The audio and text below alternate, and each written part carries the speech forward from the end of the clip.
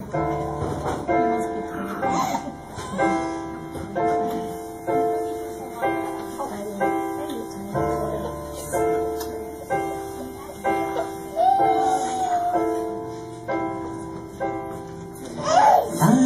open my eyes to the sound